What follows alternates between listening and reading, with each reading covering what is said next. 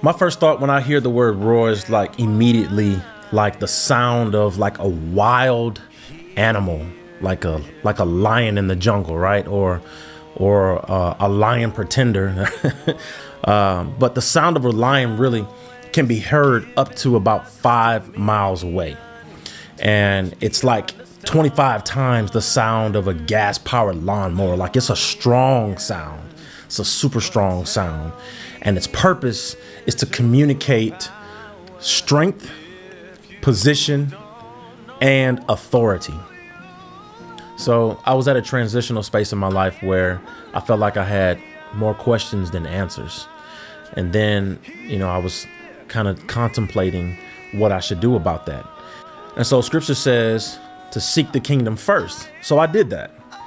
I started with Genesis 1, and I assure you, I saw it with a brand new pair of eyes right? Messiah tells us that the kingdom, identity in the kingdom is everything. It's everything. And so is position.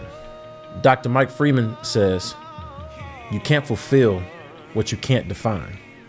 So once you establish your role, you can better interpret your marching orders. So I wrote this song not just for myself. I wrote it for all the entire nation of believers, all those who know they have a sound that the Father wants you to release.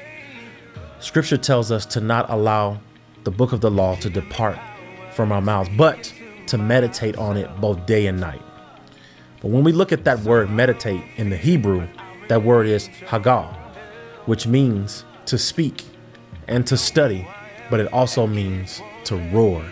It's time to release the sound. It's been bogged down for too long and it's time to release it. The power is within us, the kingdom is within us, the authority is within us, the position is within us, and most importantly, the strength of the Most High is within us. Before I give up, I open up my mouth and I lift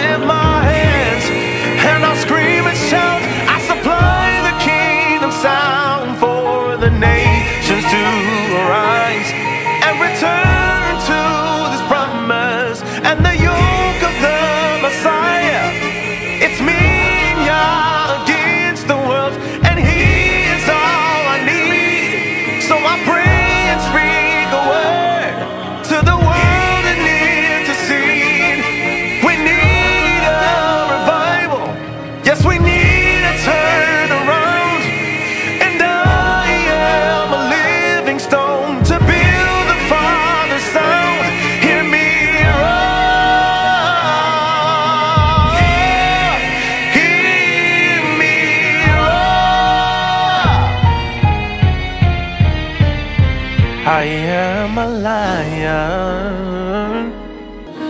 Hear me.